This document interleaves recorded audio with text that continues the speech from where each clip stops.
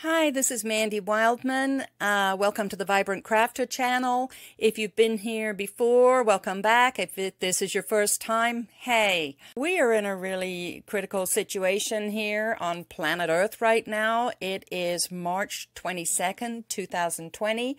Uh, there's a critical shortage of masks in the healthcare industry right now as we speak. So I started making masks um, for my local community and was overwhelmed with resp- responses and requests for masks.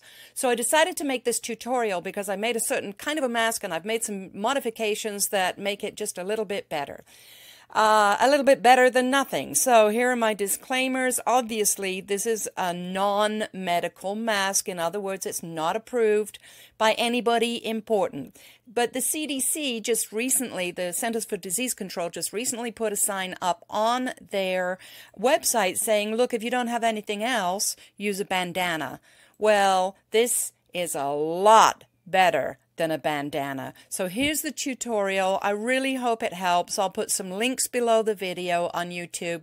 And um, try not to swamp me with questions because I am making so many masks. I'm kind of exhausted. You can tell I'm a bit punchy. But anyway, let's just get going. So for this project, you're going to need fabric scissors, thread, cotton fabric, half inch elastic, a ruler, and a pencil. So the first thing you're going to want to do, if you like to use a template, uh, you can get a piece of cardboard and cut it 6 inches by 9 inches.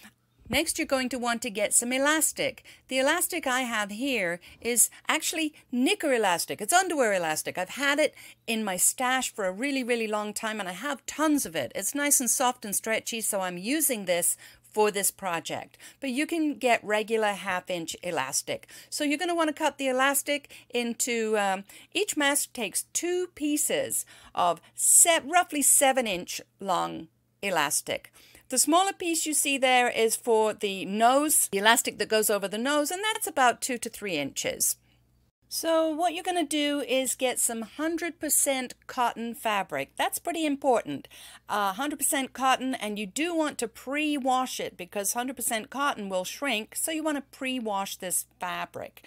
The white fabric that I have is a flannel. It's nice and breathable but it's also nice and soft. You can get these fabrics mm, sometimes at Walmart. I don't know. I have a giant stash of fabric so that's what I'm using. You could even use uh, old sheets and you can can just do two layers of the sheets if you want to. Uh, so long as it's 100% cotton, that's really important. Cut two pieces of fabric, six by nine. You're going to put them together, right sides together. Then you're going to take your elastic and you're going to pin it in each of the short sides. So you're going to pin one side of the seven inch elastic in one corner and then Go up to the other corner and pin the other end of the elastic there. After that, you're going to sew all the way around the edge, but leave a two inch gap because you're going to be turning it inside out. Once you've turned it inside out, you're going to have something that looks like this. Top stitch all the way around the outside edge. Next, you're going to make three pleats on each side of your mask. This is going to make the mask pretty thick and bulky, so when you go to sew it on your machine, you're going to need a needle designed for denim or thick fabrics. To make it extra strong, you can do two rows of stitching. So now your mask should look something like this. And this is where many of the tutorials kind of stop. But this mask, if you leave it like this, is going to gape open at the top by the nose and at the bottom by the chin. So I've got two quick but important modifications you can make to make the mask more snug around the face. Go ahead and fold the mask in half and make a mark one inch from the center fold with your invisible ink pen or even a pencil will work.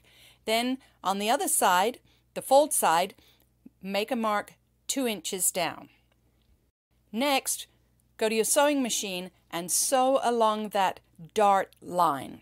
Make sure you make your uh, beginning and end nice and tight and secure. Now what you've got is a mask that has a chin pleat and it's going to sit nice and snugly around the chin like this.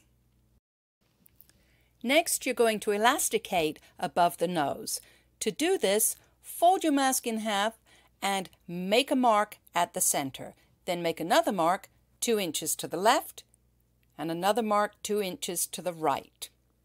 Now remember that little extra piece of elastic we had? This is where we're going to use it.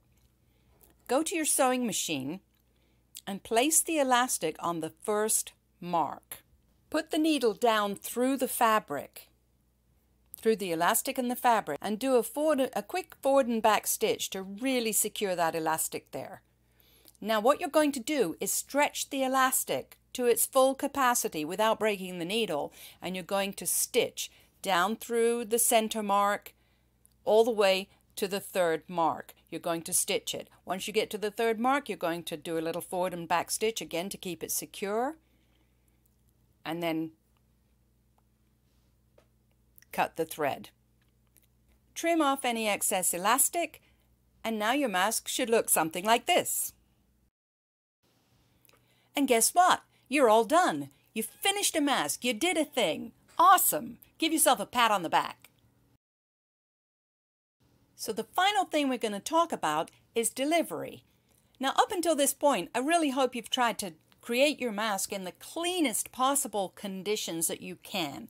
However, when it comes time to give your mask to somebody who needs it, it's obviously not going to be sanitized because you've been touching it. So what I do is I pop my masks into little Ziploc bags with a note, a piece of paper that says, wash me. And I make it pretty clear to the person receiving the mask that they need to wash the mask first before they use it. And that's it. I really hope you enjoyed this tutorial. I really, really hope it helps. We're in a pretty dire emergency here right now as of March 22nd, 2020. And all I can say is stay safe. Do everything you can to protect yourself and other people. And I'll see you on the other side.